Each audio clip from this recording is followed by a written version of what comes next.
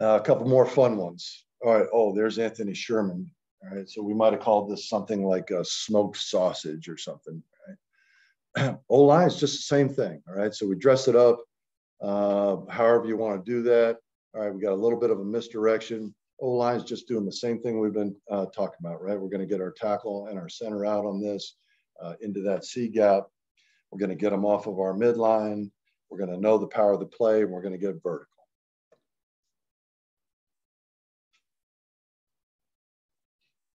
All right, now if we uh, want to change up the blocking scheme here, we, we might give it a different name, uh, you know, for lack of a better term, just a shovel pass. So for us, we're going to block that more like you'd block your one back power, right? We're going to pull our off guard on a shovel pass.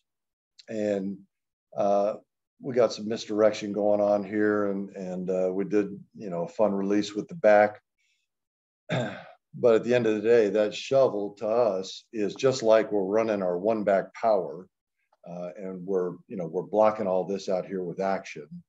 Uh, so our guards, you know, tight off of the double teams, or if we've got a, you know, uh, back blocks going on against these bear fronts, tight off of that. And we're looking to get north and south on this thing.